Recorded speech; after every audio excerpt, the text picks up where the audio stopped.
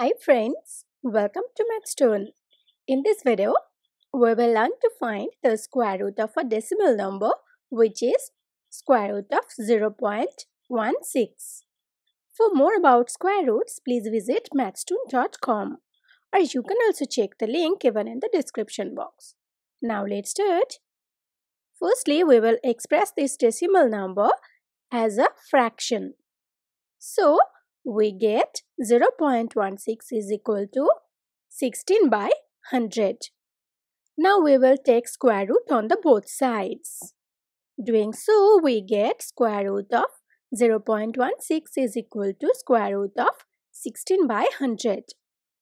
Now we will rewrite this fraction as square root of 16 by square root of 100 using the rule of square root of a by b is equal to square root of a by square root of b.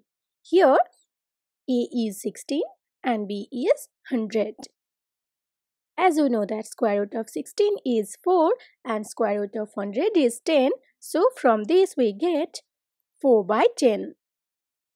Now we will again express this fraction as a decimal number.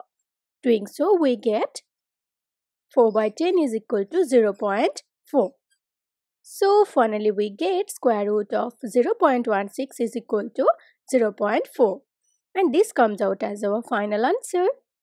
Thank you for watching. Please like and share this video if you find it useful. Leave your comment in the comment box. Do not forget to subscribe this channel. Please hit the bell icon to get notification of new videos earlier.